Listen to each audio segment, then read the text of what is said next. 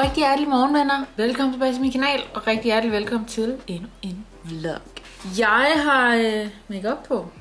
Ja, det er vildt. Og det har jeg, fordi jeg skal til ud af døren og ind mod Indre By og mødes med min øh, gode veninde Anne Mette. Vi har kendt hinanden siden vi var cirka øh, så små her. Og så har vi aftalt at gå rundt og hygge en lille smule. Anne Mette hun har taget sit kamera med, fordi hun er en ret dygtig fotograf faktisk. Og så har jeg taget lidt forskellige øh, outfits med i øh, min taske, og så går vi rundt det derinde, hygger, øh, tager nogle billeder, kigger lidt butikker måske, og så tager vi her hjem bagefter og catcher op og maler lidt malebog, og det skal nok bare blive en spitseklassen dag. Det kan jeg mærke. Der er god energi i den her dag her.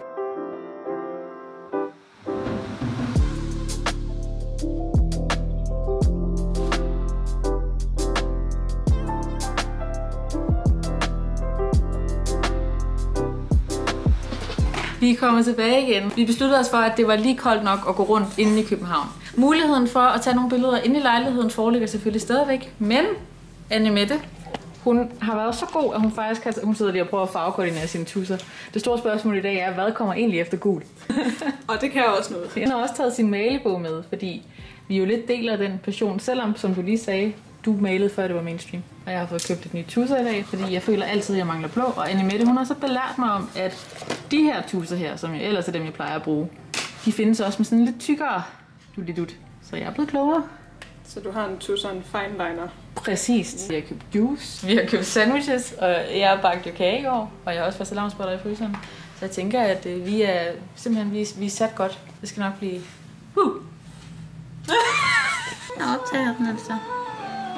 Ej, jeg fik det på fingrene.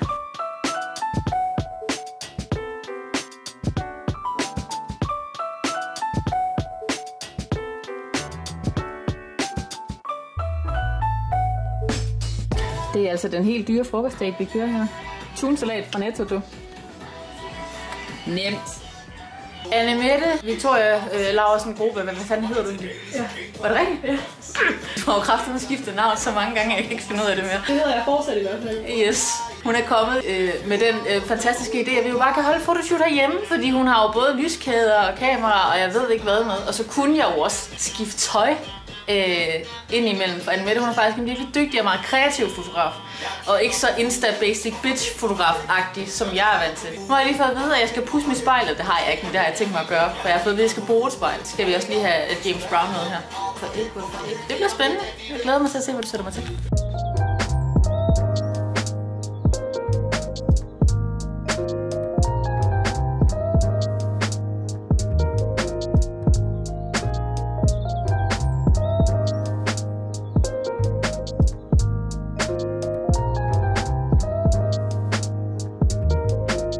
Vi har fået taget, jeg ved ikke hvor mange billeder, og nu er det citronmåne firkant tid. Citronmåne firkant tid.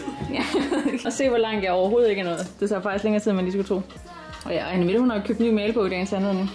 Ja, fint skal det være. Mmm. Den kagen, den er god. Jeg har også taget træningstøj på, for at være sikker på, at jeg kommer afsted i dag. Ellers så havde jeg nok ikke... Nej. Åh, jeg tror muligvis, at den her vlog er en af de mest rode, jeg længe har lavet. Og det siger altså ikke så lidt, for jeg har godt nok lavet mange rode. Klokken den er lige nu 6 om aftenen. Anne Mette, hun øh, tog hjem halv fem eller sådan noget, tror jeg. Og øhm, så har jeg faktisk siddet og arbejdet siden. Nu er Futte lige ude at gå med Max. Det har han været så sød tilbud at gøre, for så kan jeg nemlig komme afsted til træning. Og øhm, det bliver jeg simpelthen nødt til i gåsøjne. For jeg har virkelig nedprioriteret det den seneste uges tid, jeg har været så træt, og jeg tror, at det har noget at gøre med, at øhm, jeg for nogle uger siden var inde i en virkelig dårlig periode, og nu er jeg begyndt at få det dejligt igen. Jeg tror, jeg har følt lidt, at jeg har skulle kompensere for den tid, hvor jeg var sådan lidt nede. Så jeg har sagt ja til alt for mange ting og kastet mig ud i alt for mange projekter, og har glemt at holde fridag, og nu siger min krop, øh, gider du lige at stoppe to sekunder. Så nu vil jeg se, om ikke jeg kan huske, hvordan man træner. Det er efterhånden ved at være lang tid siden, jeg har været fitness. Og så giver det mig forhåbentlig en lille smule energi, og ellers så må jeg jo bare flade på sofaen igen om nogle timer, når jeg er tilbage.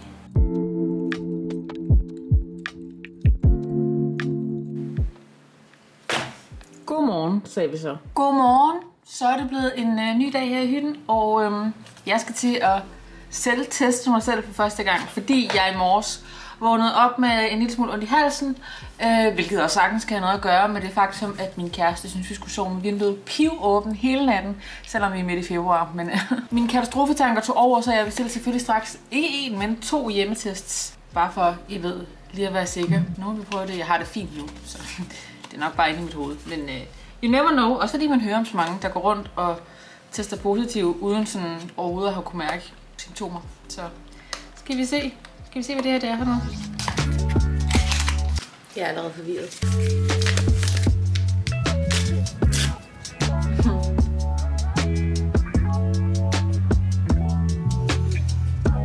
Den var negativ. Hurra! Men jeg bestiller altså lige en PCR alligevel, fordi jeg ved ikke jeg stoler ikke helt på det der hjemmetest. Men så har jeg også prøvet det, ikke? Altså.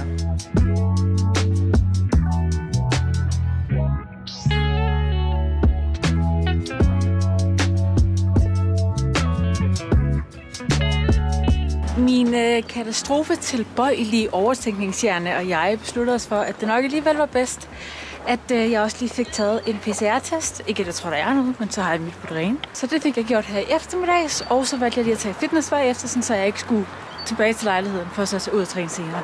Øhm, så nu er klokken ved at være kvart over fire eller sådan noget, tror jeg. Og øhm, nu er jeg på vej i øh, Føtex for lige at se, om de har de godbid, vi plejer at give max. Og øhm, kigge lidt rundt i Amagercenteret eventuelt. Ja. Nå, det lykkedes mig ikke at finde øh, de godbidder, Max han godt kan tåle, men til gengæld fik jeg købt tusser, jeg ikke har brug for. Og blandt selv slik, som jeg ikke har indtaget rigeligt af sådan nogle sager øh, de sidste par uger, faktisk nærmest. Det lidt har også ret. Ellers. Super! Nu tror jeg, at jeg øh, jeg rydder lidt op i lejligheden, og så skal jeg have arbejdet en lille smule mere. Jeg kan lige se, at Futte han er i gang med at bruge computeren til et eller andet, så skal han lige være færdig med først. Og så vil jeg øh, smutte i et, et dejligt, øh, langt bad, forkæle mig selv lidt med noget body scrub. Og så skal jeg, lige så snart jeg er færdig med arbejde, have placeret min popo på sofaen og slappe af.